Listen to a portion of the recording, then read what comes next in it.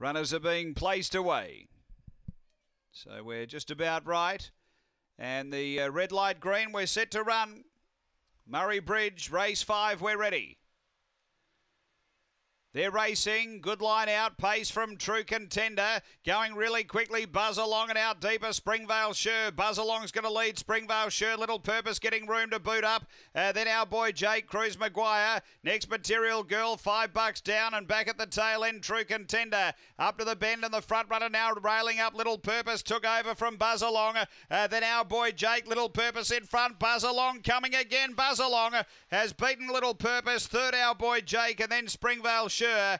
Uh, next is Cruz Maguire, true contender, Material Girl, and uh, five bucks down. The time here is around 25 and 90. After the running of race number five, and uh, too good here, Buzz Along was uh, headed and uh, able to keep rallying and has been too strong.